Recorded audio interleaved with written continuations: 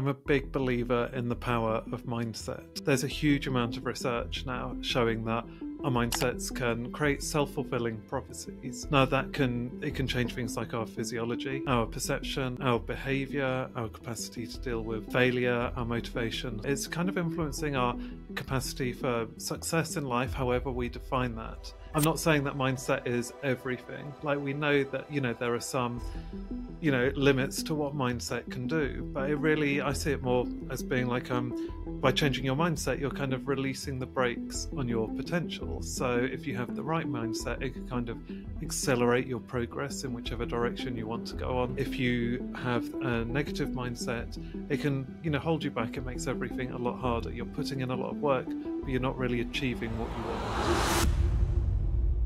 David, I'm super excited to have you here today. Uh, me too. Yeah, thanks so much. I'm really looking forward to our conversation. So we're going to talk science, and I want to get into the the meat of it. I, when we talk about mindset, we talk about mindset all the time on this show, and how we see the world, how we see ourselves in the world, is so important to me, to a lot of the listeners who have really defined the path, that visualized path that they want to go on What's the science behind mindset? And let's kind of talk a little bit deeper into that because I feel like that's a really interesting place to start.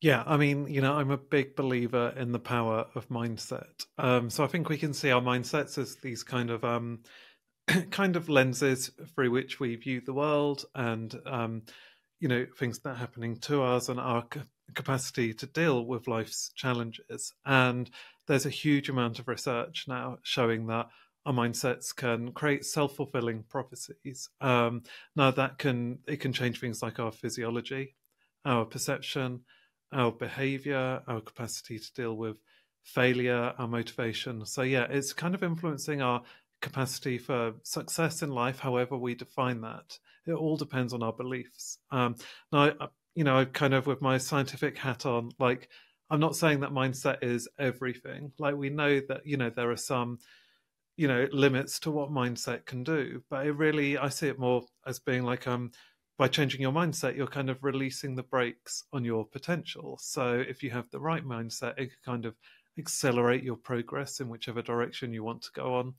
Um, if you have a negative mindset, it can you know hold you back. It makes everything a lot harder. You're putting in a lot of work, but you're not really achieving what you want.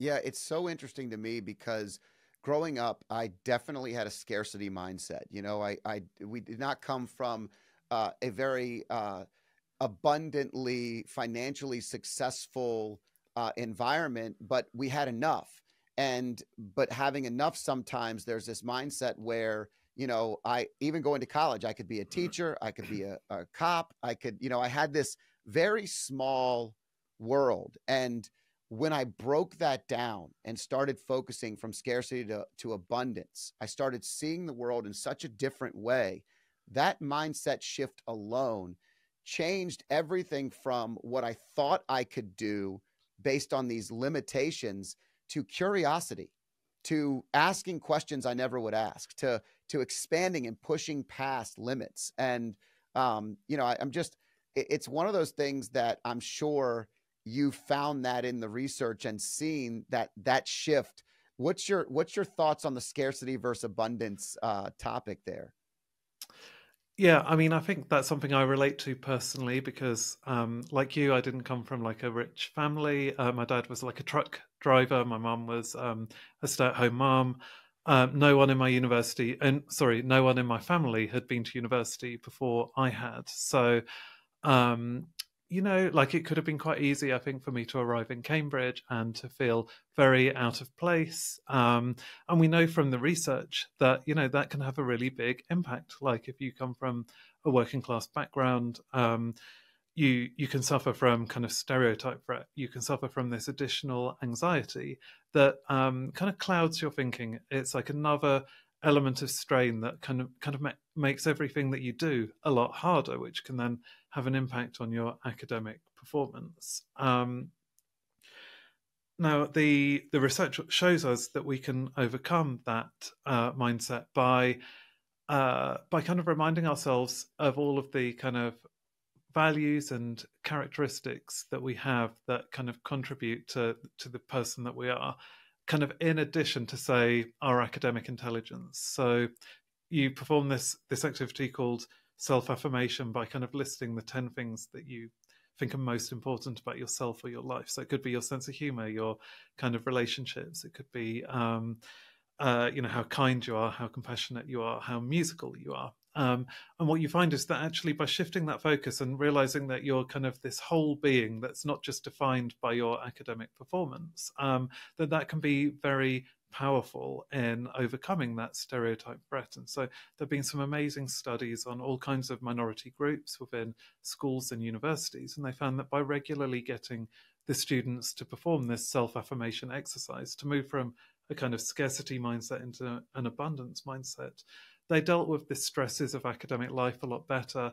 They kind of leveled up, like they started to perform as well as the kids who'd come from more privileged background um, backgrounds. Um, so that's just one example, I think, of how like a small psychological intervention that changes mindset can actually have a really big impact. Um, now that doesn't mean that we should tell everyone who's um, kind of suffering from a lack of privilege, like, oh, it's all in your mindset. We don't need to make any uh, systemic changes to kind of the organizations that might be that might not be serving you as well as they could. But i think you know we need to change the kind of world around us. But i think in the meantime it's also really useful to equip people with these skills with these new mindsets to help to account to help to buffer um, them from some of the stresses they might be facing. When you started um, when you got to the university process and you started down learning. Obviously, this has been a passion of yours, studying, learning, uh, you know, identifying theories and and and developing them with depth. Did you feel like you found your passion, like this was exactly where you were meant to be immediately, or was it something that you had to build and develop? Yeah, it was something I had to build and develop. And um, so, uh, to be honest, yeah, I studied mathematics at university, which um, uh, kind of so the UK university system is different from the US in that we specialize like very early on. Um, and I don't think that served me especially well um, because I, um, at high school, I'd really enjoyed like um, creative writing, um, literature, studying foreign languages. And then like all of that was stripped away when I went to university. It was just like maths, like, you know, 16 hours a day.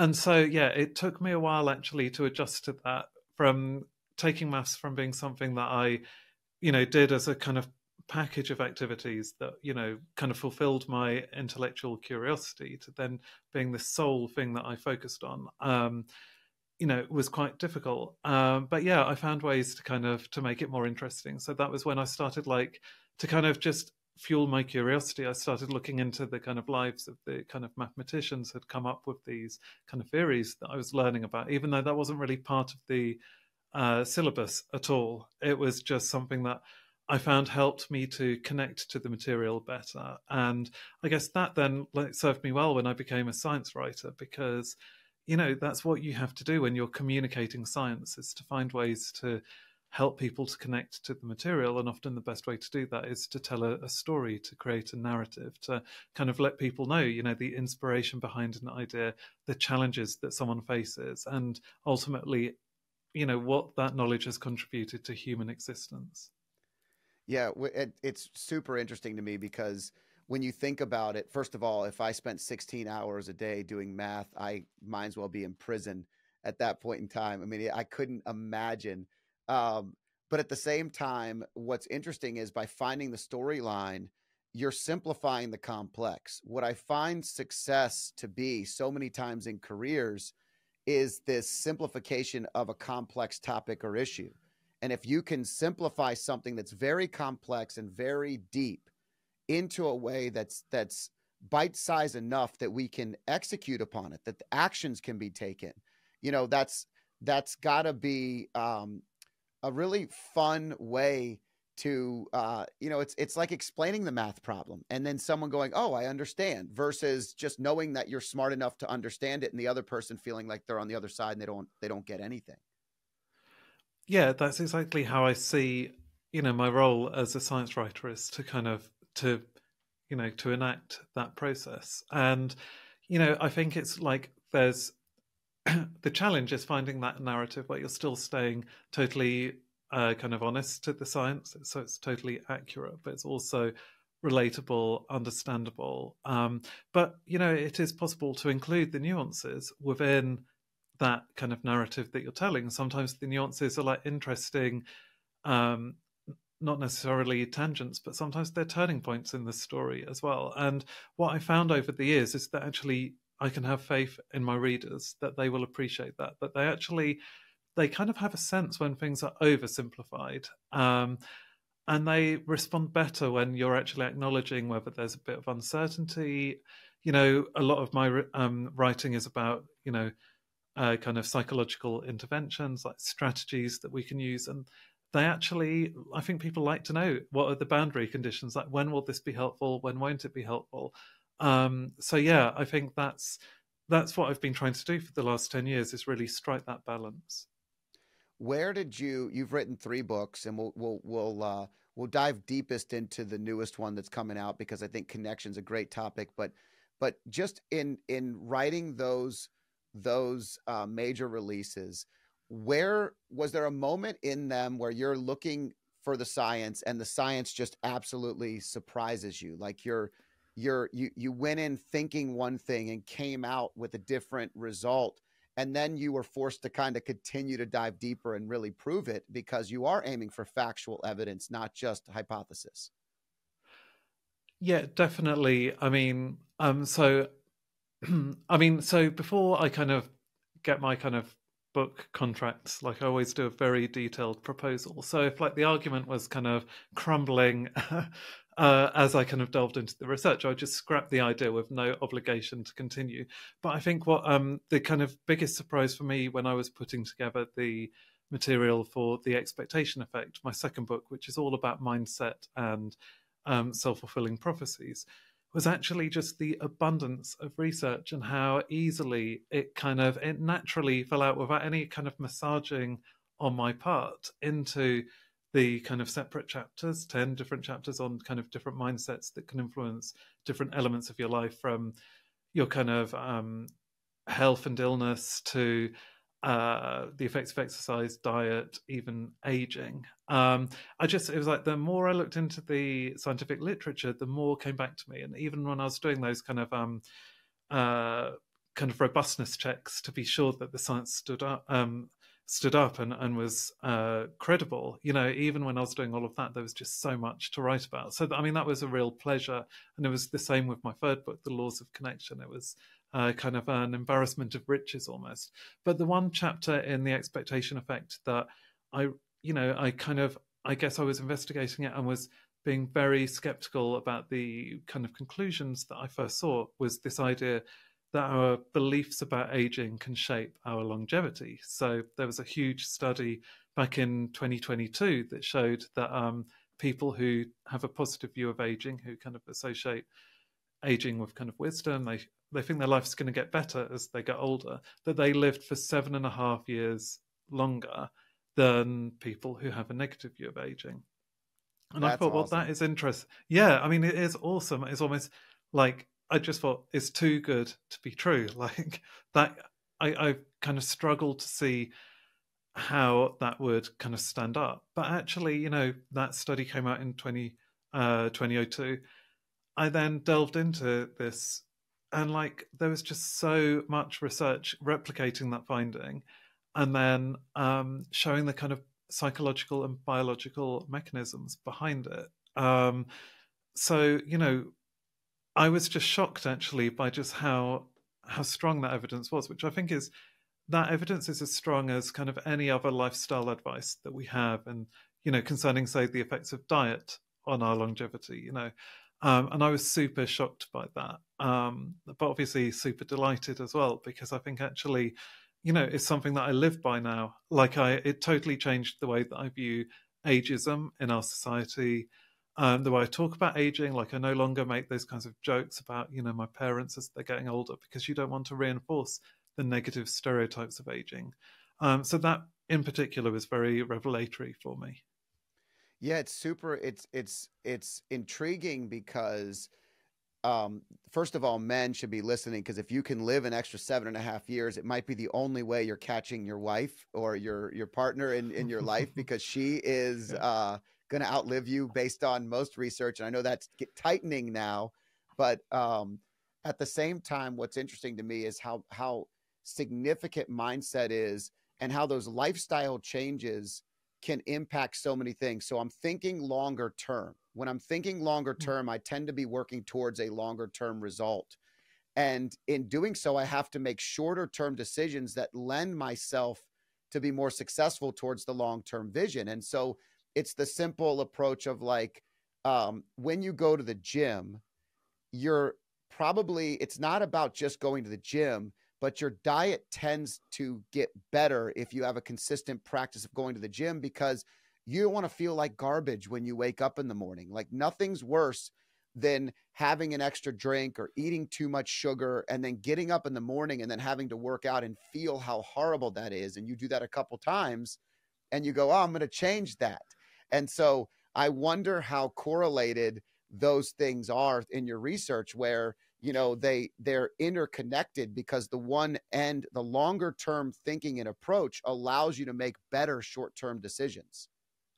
Yeah so i mean i totally think that is one of the most important mechanisms that links kind of beliefs about aging to longevity is that if you are optimistic about kind of living a long and healthy life and you're focusing more on you know all the opportunities that kind of come with your retirement you are more likely to exercise to eat healthily you're because you want to kind of you know make the most of that golden period basically. So no doubt that that is important.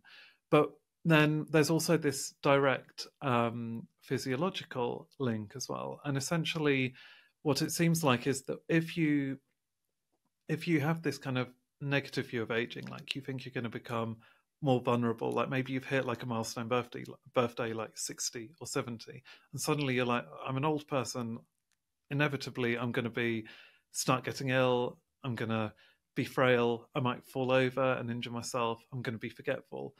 Um, that mindset is creating a lot of stress in your life because like all the things you used to do and enjoy, like meeting friends, just simple daily chores like going to the shops, suddenly become this kind of much bigger uh, challenge to you. They're kind of like a threat to your to your well-being, and so that's what we see that the people with the negative views of aging, kind of after midlife, like 60 plus, their levels of cortisol, this stress hormone, steadily increase as they get older. So it's a chronic stress. Um, and we know that chronic stress, like when it's day after day after day, you're just feeling kind of more and more threatened by your environment. We know that that's bad for your health. Um, we know that's also linked to inflammation, and sure enough, you see that levels of inflammation within the body rise accordingly for these people with the negative views of aging.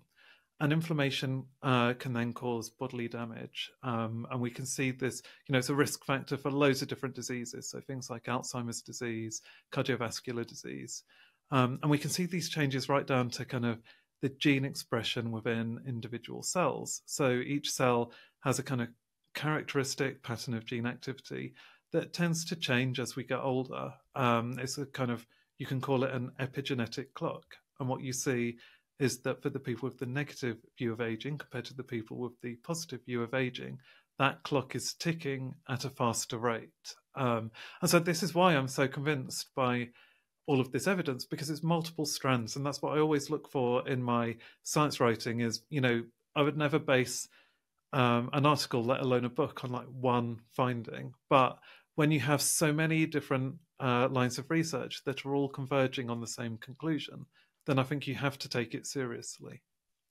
We talk a lot about the why here and and something bigger than ourselves. And when you talk about connection, you know, for me, when I think of longevity, I don't think about myself. The only part I think about for myself is I think I want to live healthy and uh, I want to move. I want to be more agile. I want to, you know, I do things at 45 that I didn't focus on at 35 simple things like uh, deep squats and movement exercises so that I can maintain balance and, you know, eh, because I want to live healthy into the future.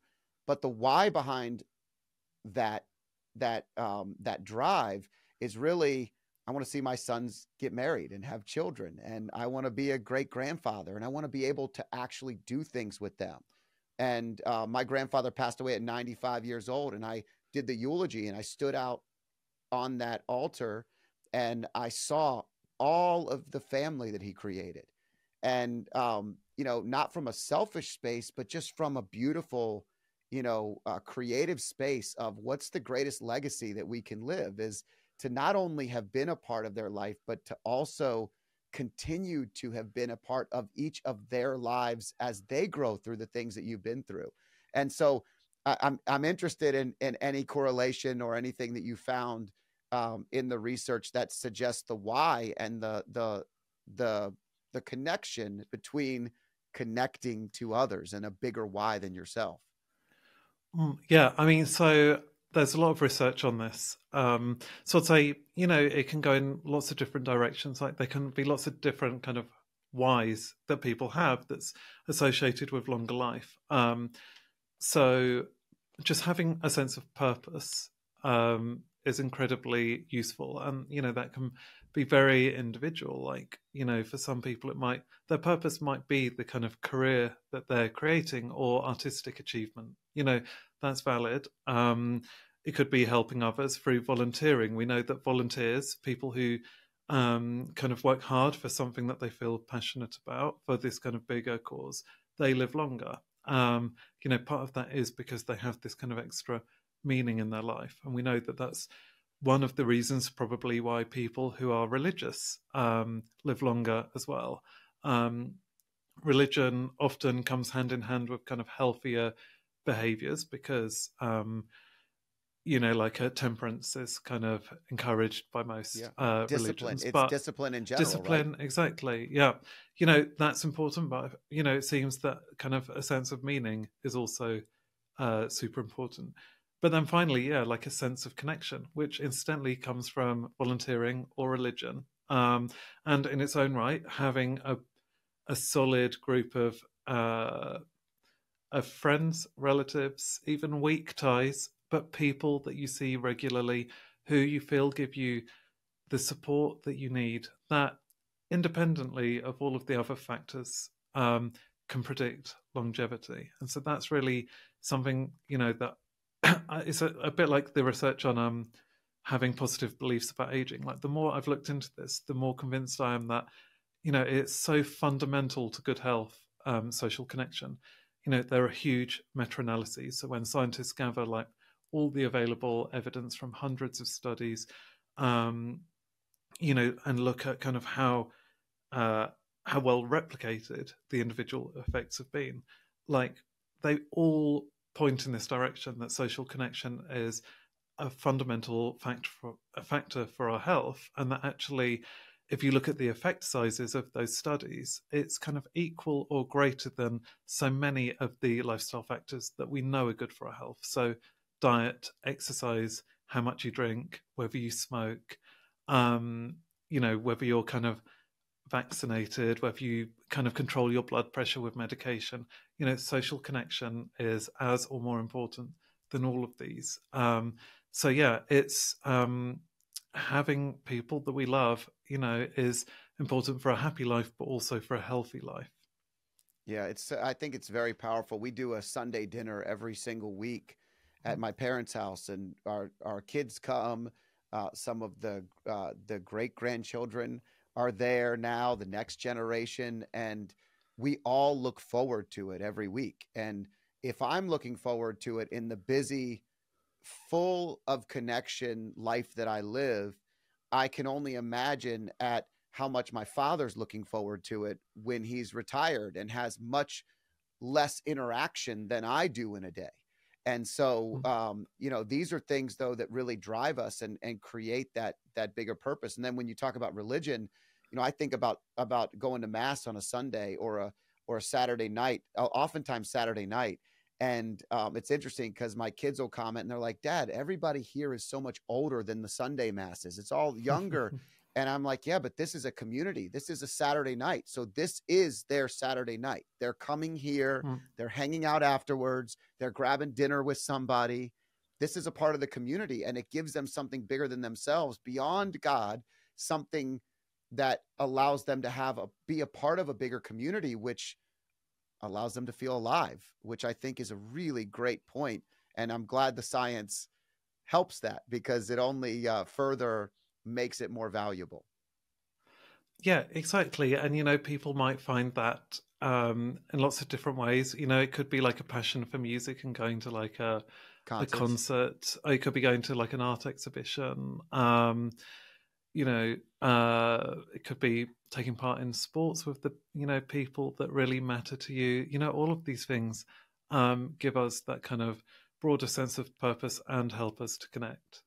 Yeah, it, when when um, when you look at the the connection and the social uh, part, and you and you compare it to diet and the other things that you're you're mentioning, it is really interesting how powerful that is. And in today's world, where our phones are how people feel more connected and they're actually less connected, it's interesting to think of what that could do to longevity because there is a disconnection um, in in the in in communities today where even looking at children, I mean the the amount of time that the teenagers that and I have two um, and their friends they will sit on their phones everywhere we go, and they still interact. They play sports together. They do things together, and I think that our boys are doing it a little bit better than than uh, most because I'm pressing them constantly to put it down, but I worry a little bit about the connectivity of of where we're heading,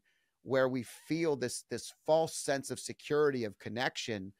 Um, but I don't know if you have any research to support that that's real or if that's just a concern that's that's not validated.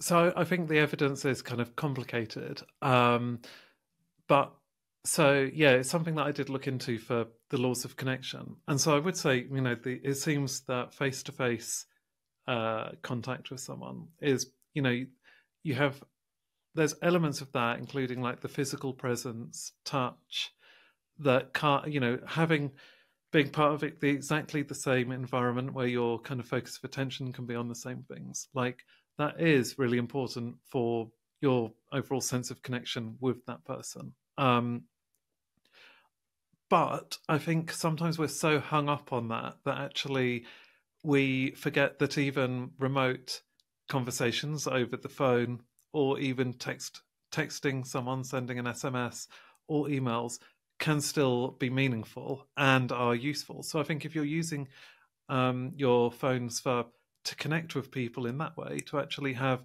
some kind of dialogue where you're um, sharing your inner lives, your thoughts and feelings and passions with someone else. Um, you know, I, I think that's a good thing still. And, you know, when we live in this world where sometimes we're not physically present, we're not able to be physically present with the people that matter to us because we live in another country, another state, or, you know, different time zone, you know, that's still really important. And actually, what the research suggests is that we sometimes we're so hung up on the idea that it's not good enough that we just don't bother with that remote communication at all. And then we're missing out if we it's better than nothing basically far better than nothing. But i do think there's a problem if we're using our phones to engage in social comparison. So you're not actually sharing anything meaningful with other people but you feel in competition with them you know you're you're looking at other people's Instagram posts and feeling kind of envious of their lives and feeling resentful. You're creating posts that maybe aren't totally honest to how you're feeling to try to kind of, uh, you know, keep up better. with the Joneses. yeah, yeah, exactly. Um, you know, I don't think there's much evidence to suggest that that, that is um, a good form of uh, communication at all for our mental health or our physical health. Um, so I think more mindful use of technology is kind of what I aim for in my personal life, and to make sure that when I can, I still have the physical contact, but when I can't, I use the um, remote contact in the the way that's going to create the most meaningful connection possible. That's good. That's it's good. Uh, it's good to hear uh, where science backs certain things, and also to remember that there is a great connection uh, to just just the old AT&T reach out and touch somebody, you know, having that right, yeah. FaceTime call or that quick text. I do a voice text all the time where I just leave voice text messages to people because it's a great way to um, to send somebody a quick message that you're thinking about them or you saw something successful instead of commenting on Instagram how awesome it is that your son graduated from high school.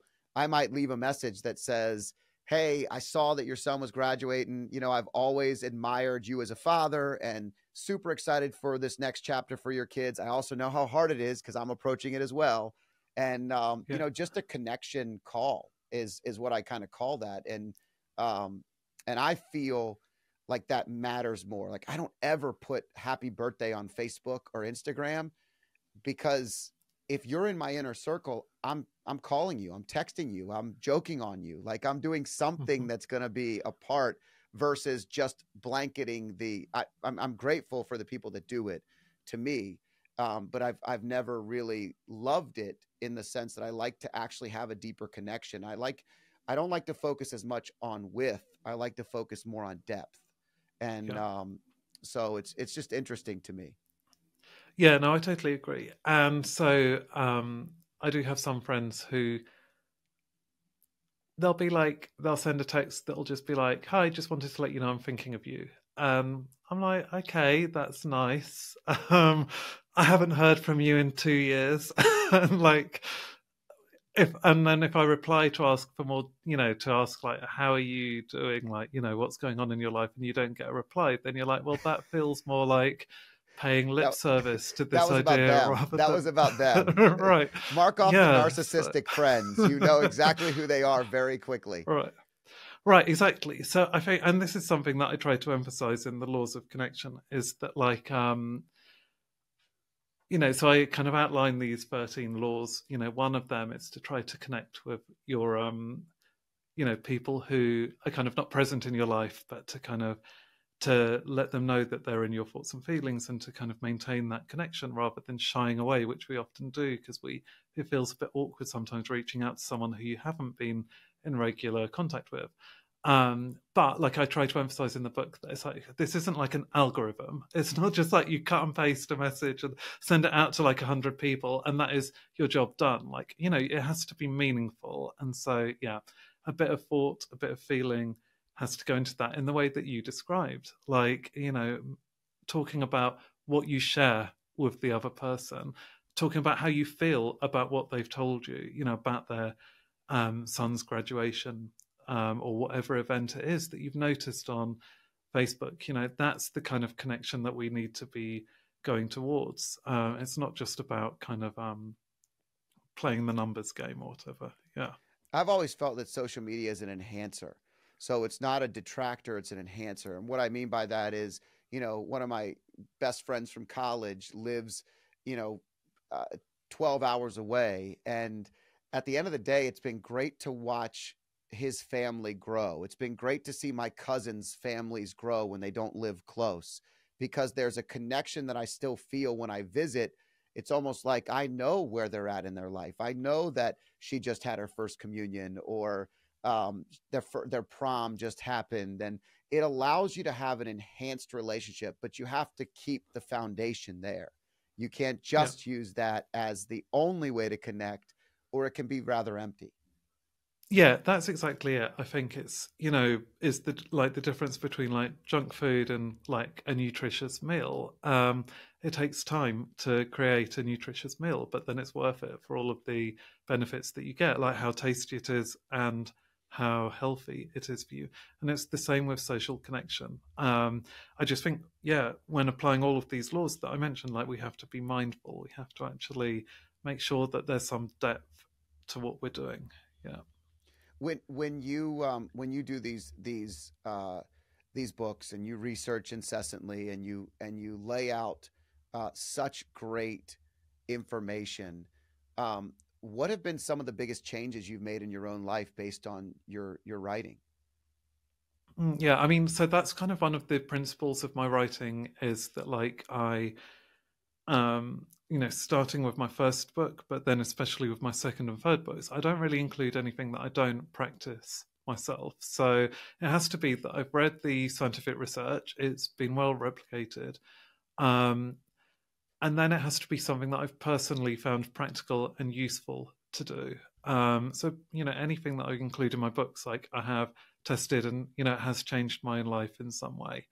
Uh, but there are definitely some examples that um, kind of really stick out for me. And so, say with my um, this kind of forthcoming book, um, you know, uh, I'm quite a shy person. Um, I kind of was as a teenager much shyer.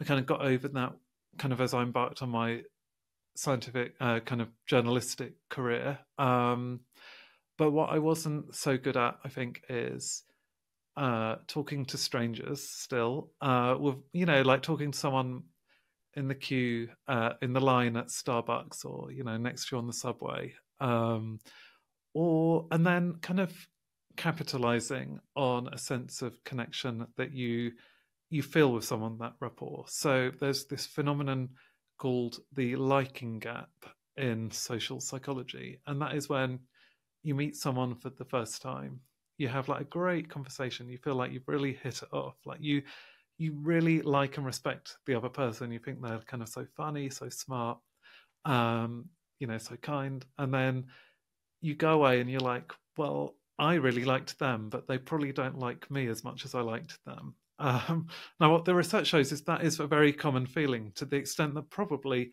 the other person that you were speaking to was thinking exactly the same thing. So each of you has gone away thinking that the other person um, didn't like you as much as you like them. Um, that's why it's the liking gap. Um, and I just found that this uh, discovery was just like uh, transformative for me because in the past, I, you know, I kind of suffered the liking out so much that, like, you know, I'd turn down like party invitations from like colleagues I kind of vaguely knew at work or even people I worked quite closely with because I'd just be like, they're asking me, they must be asking me out of politeness. And it'll be super awkward if I turn up because they won't, because, uh, you know, they don't really want me there. And like reading about the liking gap and realizing how common this is, I just, and then looking at my reasoning, I think that is just so absurd. Like, no one, not many people are like that bothered about your feelings that they're going to invite you to a party if they actually don't want you to come. Like, it's just not, that's a very rare thing to happen. And so, you know, just finding that made me think actually, you know, I need to be more confident with other people. And I need to, given that the other person is probably feeling something like the liking gap as well, what I really want to do is to make sure that they go away from the conversation without that anxiety. So now I just, if I, I only say it if it's true, but you know, often it is true. I'll tell people like at the end of a conversation or meeting, you know, like I really enjoyed that. I found you really interesting. Like, I'd love to do that again. Like, just like saying the kind of unspoken bit out loud um, has just worked like wonders for me. And I just feel so much more socially confident now. Like, I just think it's kind of eased over those anxieties so much. That's why it's kind of been so important for me.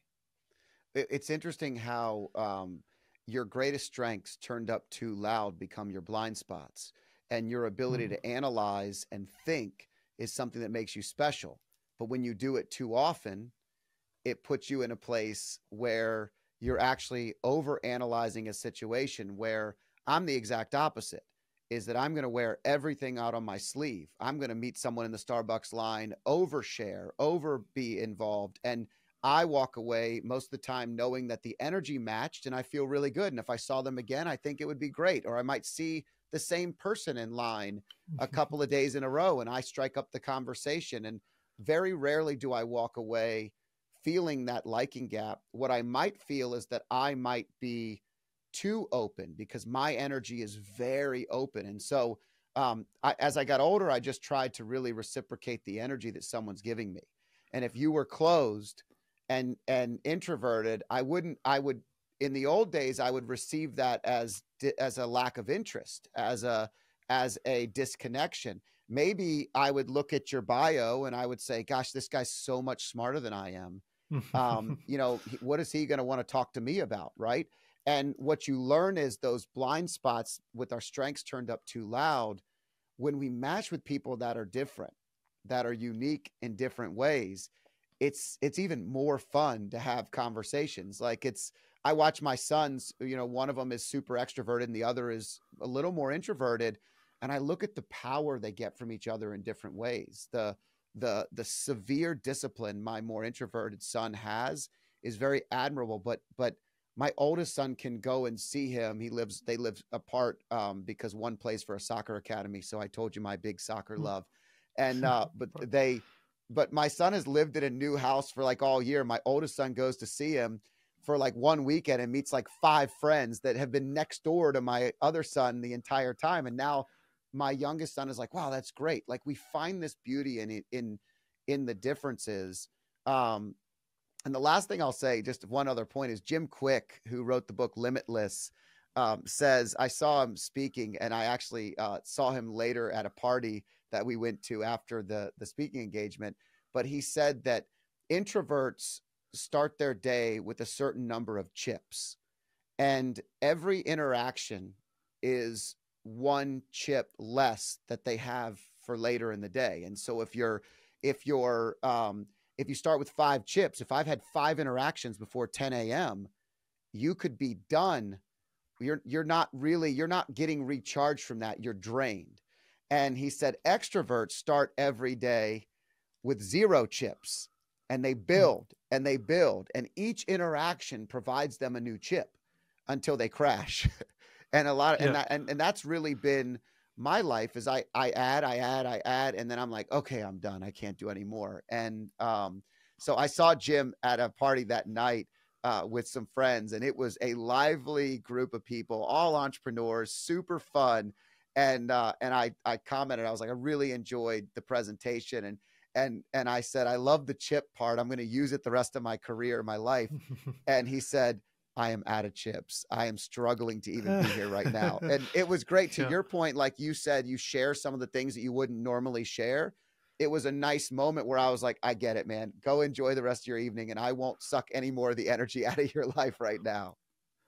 Yeah, I mean, you know, I think we kind of have to be kind of aware of our limits and uh you know like introversion extroversion you know they're definitely like real psychological constructs that um do influence our social behavior. But another thing that surprised me from the research i did was that maybe the influence isn't quite as strong as we assume. So what you find with introverts actually is that they i'm sure you know it is true that they uh you know find social uh, social engagements kind of tiring. They're not getting the same amount of energy as an extrovert, but they do tend to overestimate how tiring they're going to find it, and they they are much more likely to have the negative expectations about you know what those interactions are going to involve like how awkward they're going to be like what you know they you know they're more concerned about like you know whether they'll kind of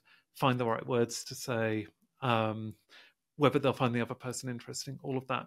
Um, but the reality is often much better than they think. So if if you're an introvert and you want to try out being more gregarious, um, you know, if you put yourself up to that test and try like for one night to be a bit more like of a party animal, um, you might find that you enjoy it a lot more than you expect. And regular practice can help to shift someone's kind of behavior. So I think it's I don't think we should be telling like introverts to become more extroverted or vice versa, but we are flexible people and actually we can shift the dial slightly if that's what we think would give us more kind of meaning and value in our lives if we feel frustrated by the kind of by our current personality. Um, so I found that like a very encouraging. It's the same with shyness, which is slightly different from introversion. You know, if you have a growth mindset about your shyness, if you believe that it is possible to kind of overcome those anxieties, well, that can become a self fulfilling prophecy. Um,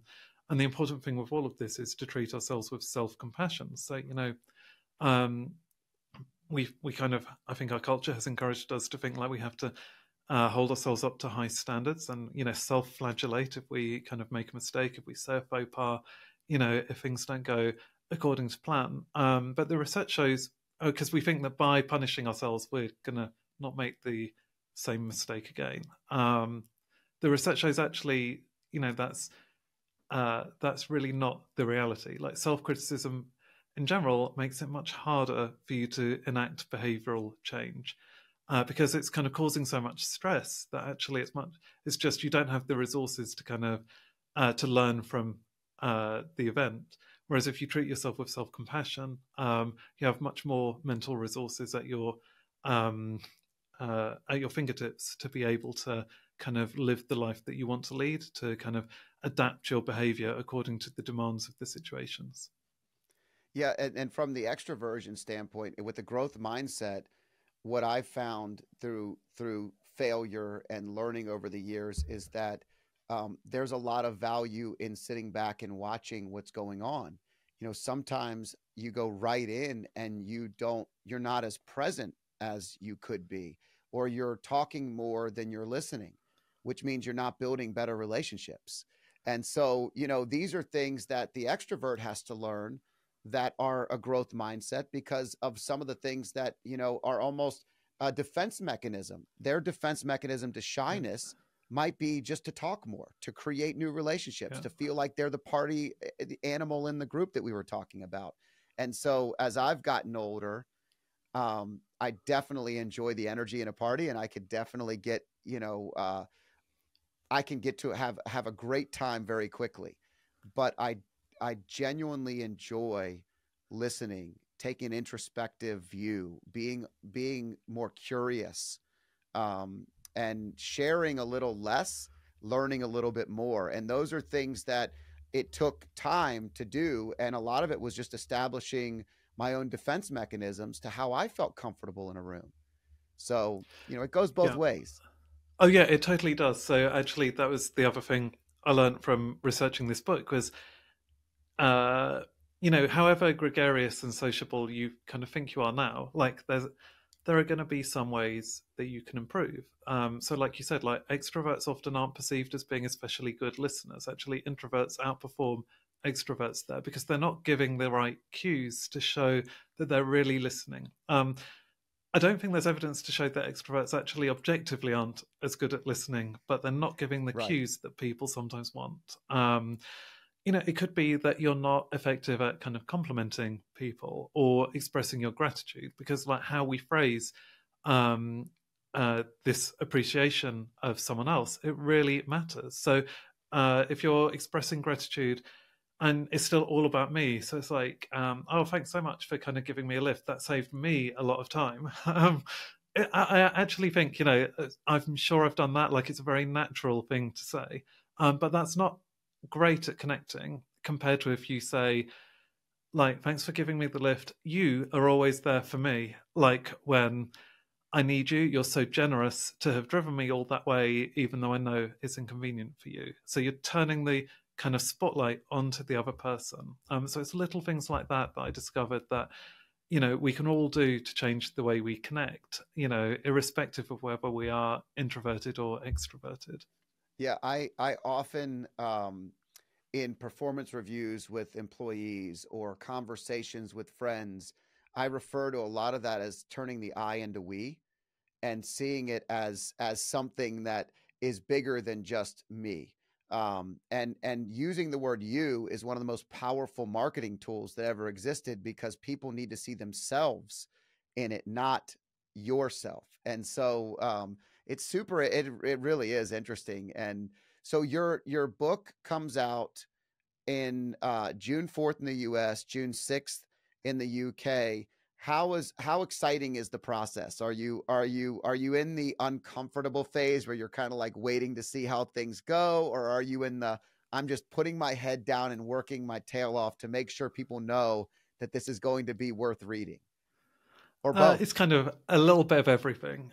Um, so yeah, I am working hard, like um, you know, writing articles for promotion. Um, uh, you know, doing all of these interviews, which is actually like so exciting for me. So it's one of the best things about publishing a book is that you spent like, you know, I've been thinking about this idea now for about three years in total. Um, a lot of that is work that I did basically, you know, on my own in libraries or kind of at my desk. Um, you know, then there were the edits, you know, all of the kind of preparing it for publication. And now it's like I can finally talk to people about it. I can get the message out there. Um, I can get feedback. I can hear like what people respond to, um, what questions they have. You know, so that is what um, it's like the kind of peak of the experience of being an author is to kind of actually see your book out there getting um, getting readers, getting attention, kind of um, triggering conversations. What is your timeline before you start the next project? So, you know, when when you do this and you have the 90 days after that you just have to press to make sure that everybody knows what it is. Um, there are authors out there that have figured out that that you have this cycle and if you're not reproducing a new book it's challenging to, to have that relevance but you produce depth in your books you produce research you, it takes you time. What's the timeline of your projects on an average basis? Yeah so i mean my books come out kind of rough, roughly every three years. So i'd say it's like one year for kind of planning kind of you know, I already have a vague idea for my next one, but like I have to put a lot of research into that to make sure that it stands up before I even kind of present that to my publishers. So about a year, I'd say. Um, then you know that's already good background. If it does come off the idea, then that's like great preparation for the writing process, which takes about a year, and then the kind of editing, uh, dealing with the edits, proofreading, preparing for publication is basically another year. So yeah, it's very much a cycle. Um, uh, yeah, I probably won't start kind of working in earnest on the next one, like you said, for about 90 days after publication. Um, so I might be reading around the topic, but I won't really start looking in depth until the publicity for this one has slowed down a little bit. Do you have a favorite? is there some do, do you feel like the next project like this is the best work that you've done and so when you come out with it you you've put everything into it at that moment and this is i mean the the book presentation the cover everything about the way you've presented this is beautiful so um, just oh, from just from looking at it, you know, I looked at all the. I went on. I went on and and I pre-ordered the book because you can pre-order it right now on Amazon and anywhere else that that I'm sure is uh, for sale, but it really has a great presentation. And I, I'm always attracted to connection. I mean, that's something that that I really love learning about, and so it's interesting to me just to see how others um, formulate opinions and challenges and opportunities to learn to be a better connector. Mm, yeah, no, thank you so much because I'm really glad that you think that is always like deciding on the title, the cover, like all of these kind of um, aesthetic qualities can be quite um, uh, quite a daunting prospect because you don't want to kind of you know you've put all this work into actually like crafting the book and then you don't want it to kind of fall down at that last hurdle. So I'm super pleased you like the uh, presentation, but yeah, I think like to go back to your um, question, I do think it can be a bit of a bittersweet process, kind of that transition from going from your last book because I was still kind of promoting the last book with like uh, podcasts and stuff until quite recently, and then kind of having to lay that to one side, and it's almost like saying like you're out in the world now, like you know, good luck, but I'm not going to be there to kind of push you any further. Like it has to stand on its own two feet now, and then moving on to the next one. Um, you know, it's a mixture of kind of a little bit of sadness leaving the last one behind, excitement with the new one. Um, yeah, you know, and I guess I think I've learned as a writer like a lot from each book. So I hope that each my kind of style of uh, of presenting this research and formulating my argument and providing um, useful, interesting, engaging information for people that they can use to uh, to put to practice in their lives. I hope that's improved with each book. So I guess yeah, the last one is my favorite in that respect. I'm sure it does. It's interesting because if you look at authors, especially when you're doing science based, um, you know, writings and you're you're developing uh, an idea and really helping to prove it, share it, um, it's to get better every time. But when I think of art in general, like music, my favorite bands, I love their first albums. You know, usually ten times better than the things that, or they might have like one, two, or three, and then it starts to become more of the same. And so I don't feel like authors are often like that. I feel like so many times with writing, it does get better every time and the quality gets better. Um, you know, I, I wrote one book and I can tell you right now, I would do 27 things different the next time. And I want it to be better. I don't ever want to read that and go, this was my best work. I want to develop a strategy to be better each time. Yeah, that's exactly how I feel. Like I love being on a trajectory and you don't want to like rest on your laurels. Um like it, it is again, it's like having the growth mindset, like recognizing that there are always things that you can learn and improve. Um so yeah, that's why you know, that's partly why I moved on from like uh kind of journalism, like writing for like the BBC and uh the Garden uh the Guardian, the Atlantic, like magazines like that, is that you know, I still love journalism. I still love doing that, but I really wanted the big kind of creative challenge of writing a book. You know, how do you sustain someone's attention over 300 pages, like, you know, citing like 400 academic articles? How do you make that digestible and entertaining and interesting? Um, and I just loved that challenge right from the start. But like, I still think, you know, there's always ways that you can learn how to do it better. Uh, like new tricks you can use new uh, new ways of structuring, new ways of like illustrating your the points that you want to make. Um, and that's why I love the process so much, and it's why I want to do another one. Is because I still feel like um, there's more to learn. Well, David Robson, if you uh, want to find him, I suggest you Google his name, go to his website. He also, you've written so many amazing articles. I read uh, several in the last couple of days, just um, you know, alcohol uh, uh, research on on early development of, of teenagers and college age, and just different things that are so interesting to have the science based writing. So um, I encourage you to not only read his three great books, but also um, to read what else has been published because there's some great articles in the Atlantic and the Guardian and some of these other publications, the BBC, your awards are are well deserved. I've enjoyed having a great conversation with you. I've loved learning from you. And I look forward to getting my copy of The Laws of Connection, the scientific secrets of building a strong social network, soon to come out in just a couple of weeks. David, thanks for joining me today. Thank you so much, Scott. Um, it's been a real pleasure. I loved your questions. I loved the conversation. I hope you enjoyed this podcast. If you liked it, there's more where this one came from. Click here and enjoy some more.